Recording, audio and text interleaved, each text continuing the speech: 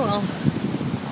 Let's see how a sea anemone moves. Although the really cool part is how it feels. Down here. Where's my finger? Oh. You see it? Closes in around you feels like sticky glue closes up, see?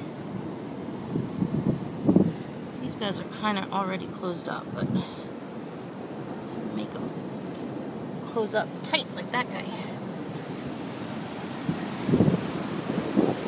This guy, he's a big one.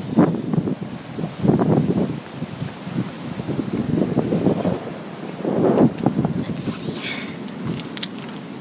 Yeah, he thinks I'm a fish, but I'm not. Ah, this reflection.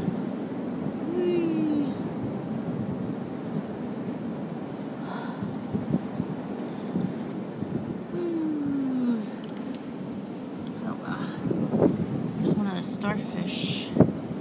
Very firmly stuck to barnacles.